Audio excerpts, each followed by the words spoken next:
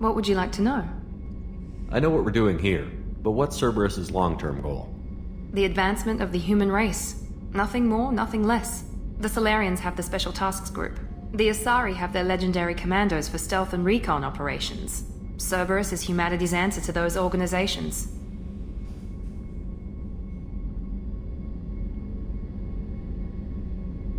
But those organizations are regulated by governments. Who keeps Cerberus in check? Nobody.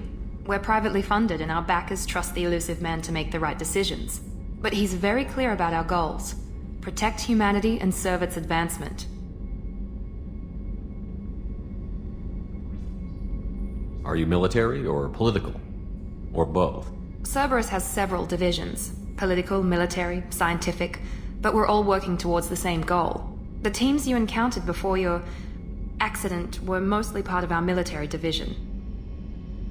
But not all Cerberus operations use the same protocols. We try not to get bogged down in bureaucracy or formality. What kind of resources does Cerberus have? We're very well funded, though I doubt anyone other than the Illusive man knows exactly how well. But our resources aren't unlimited. Reviving you and rebuilding the Normandy was a significant investment and a significant risk. We're all hoping you can do the impossible, Shepard. No pressure. What can you tell me about the Illusive Man? Not much that you don't already know. Even I don't have access to most of his background. And you've seen more of him than most ever do. It's rare for him to become directly involved in missions, but you're something special. Whatever else people might say about him, I can assure you he's got humanity's best interests at heart. That includes you and me. How can you be sure of that if you know so little about him? I didn't get to where I am without knowing how to gauge people's motives and ambitions, even from brief encounters. He's no saint, and he'd be the first to admit it. But he is committed. Humanity couldn't have a better advocate. Tell me about yourself, Miranda. Oh, I guess that's fair. I've spent the last two years learning everything there is to know about you. Well, you should probably know that I've had extensive genetic modification. Not my decision, but I make the most of it. It's one of the reasons the Illusive Man handpicked me. I'm very good at just about anything I choose to do. What level of genetic modification are we talking about? That's very thorough. Physically, I'm superior in many ways. I heal quickly, and I'll likely live half again as long as the average human. My biotic abilities are also very advanced. For a human. Add to that some of the best training and education money can buy, and, well, it's pretty impressive, really. Sounds like you were designed to be perfect. Maybe, but I'm not. I'm still human, Shepard. I make mistakes like everyone else. And when I do, the consequences are severe. Everyone expects a lot from someone with my... abilities. You certainly don't lack for confidence. It's just a fact. My reflexes, my strength, even my looks, they're all designed to give me an edge. No point in hiding from it. It's the reason I'm trusted to oversee the most dangerous, risky, and technically demanding operations Cerberus undertakes. And it's why I was assigned to you. It's my job to make sure you succeed, Shepard. Thanks for the information, Miranda. I'll talk to you later. Of course, Commander. Whatever you need.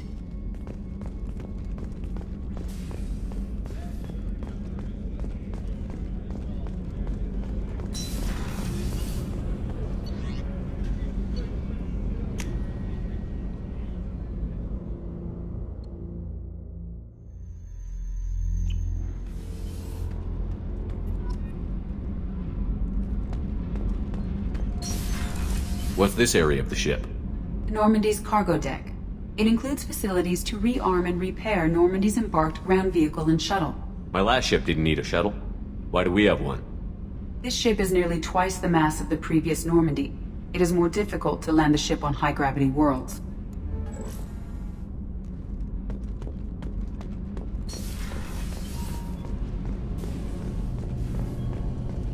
You came all the way down here to see us?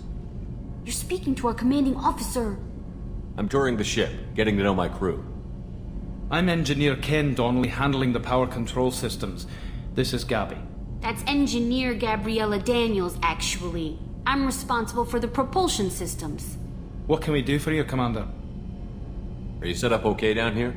We can't complain. I just wish it didn't take so long to calibrate the FBA arrays. The... Kenneth, you're complaining.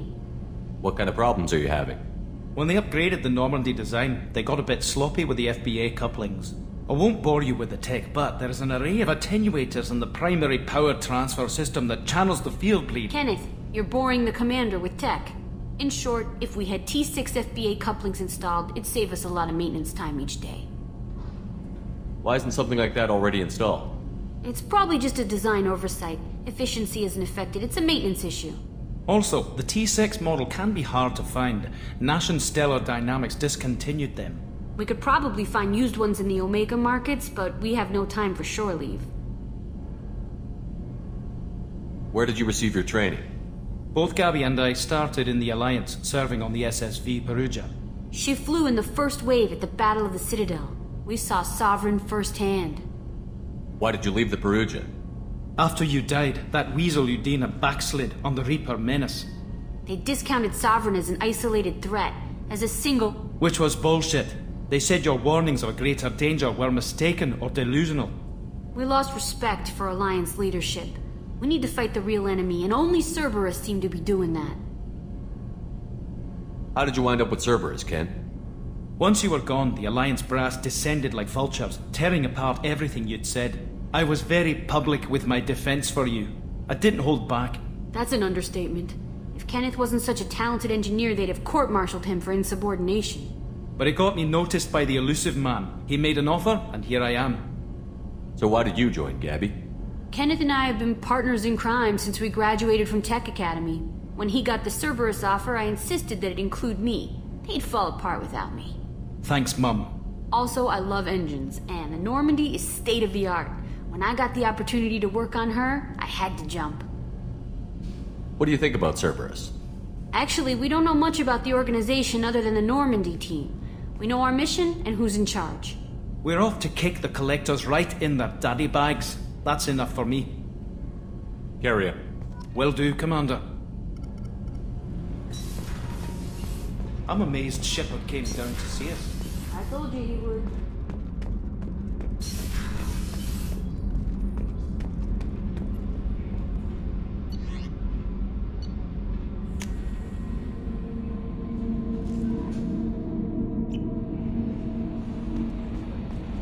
Commander, you've received a new message at your private terminal.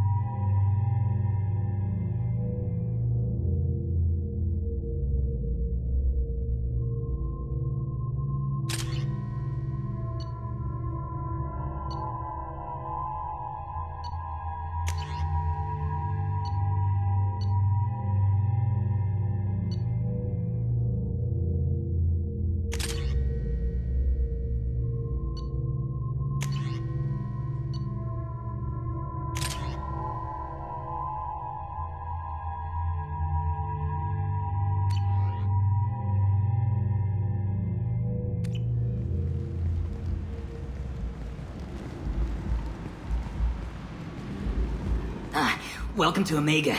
You're new here, aren't you? I can always tell. Allow me to... Oh, hello, Mocklin. I was just... Leave, Fargate. Now. of course, Mocklin. Whatever she wants. Blasted scavengers. Welcome to Omega, Shepard. You know who I am?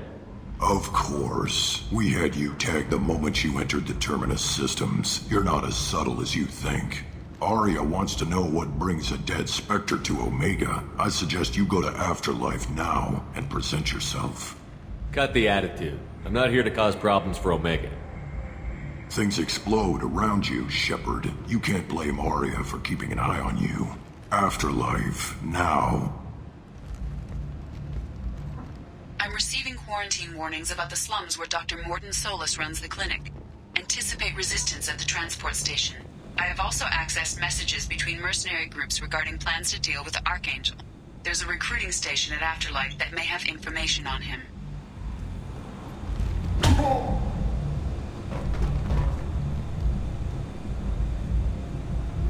Please.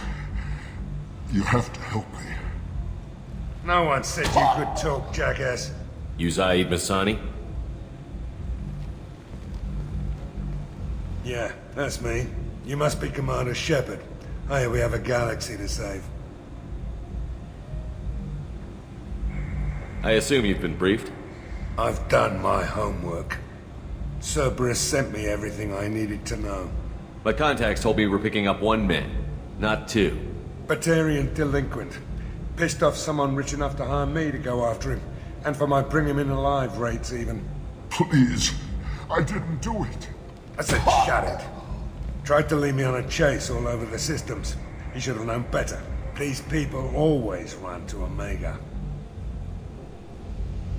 What's your relationship with Cerberus? Easy. Cerberus is paying me a lot of money to help you on your mission. That's the long and short. Not many mercs would take a suicide mission for the pay. Most mercs don't get an offer like the one Cerberus sent me. This mission doesn't sound like good business, but your Illusive man can move a lot of credits. Good to have you, Zaeed. We have a lot to do. That's what they tell me. I assume the Illusive man told you about our arrangement. I'm assuming there's some part of your contract that I'm expected to handle. That about right? Yeah. Funny he didn't tell you. Picked up a mission a little while back, just before I signed on with Cerberus. Thought you might be interested. You heard the name Vido Santiago? He's the head of the Blue Suns, runs the whole organization. Seems he recently captured an Eldfell Ashland refinery on Zorya and is using their workers for slave labor. The company wants it dealt with. I'll make sure we get that done. Good. Get it out of the way so we can concentrate on being big goddamn heroes.